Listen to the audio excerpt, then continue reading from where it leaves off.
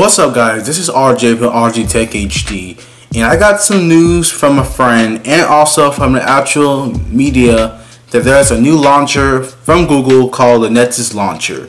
Now the Nexus Launcher is obviously a launcher rumored to be for the Nexus Nexus for Google running Android Nougat or Android 7.0 for short. Now I'm going to go into the full details of this video showing you my first installment of this. I'll leave the link below and shout out to my friend Raz. I'll leave a link to his channel below also because he sent the link on our Hangouts chat and I'm going to put a link in below. I want to show you guys the whole entire installment. Let's do this.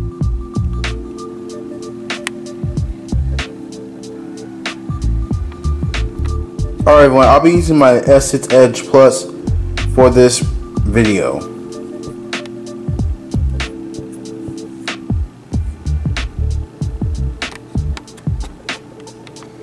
Alright, so what I'm going to show you guys is the installment right there. There's my buddy Raz. Alright, so we're going to install this live right now. Okay, install blocked. Unknown sources.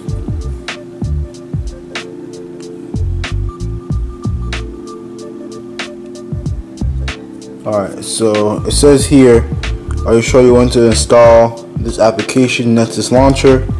Yes, I do. Alright, let's see if it'll install.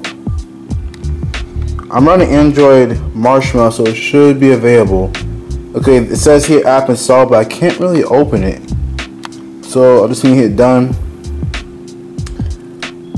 And let's see if it's there. Yep, we got it.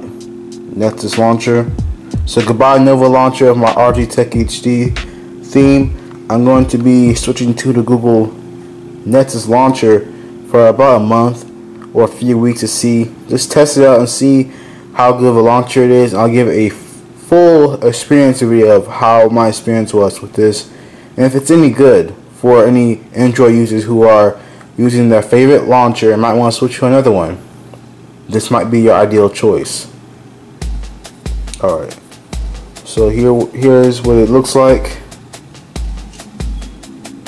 gotta say, first thing I want to say is the, all the icons are massive. Look at this. Look at this icon. This is a massive.